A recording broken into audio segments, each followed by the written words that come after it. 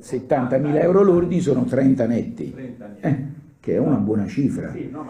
Perché c'è tanta gente che si sveglia la mattina e lavora 12 ore al giorno e in questo periodo non si può asciugare il sudore, perché se se lo asciuga il nero gli va in bocca e non può mangiare perché è grezzo, che campano le famiglie con 1400 euro.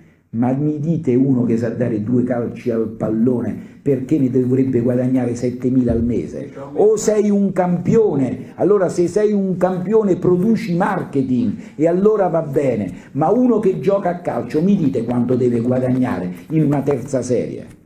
Allora, se parliamo di Higuain, se parliamo di Messi, quella è gente che guadagna l'inverosimile ma produce ricavi. In C non si producono ricavi. È chiaro quello che voglio dire?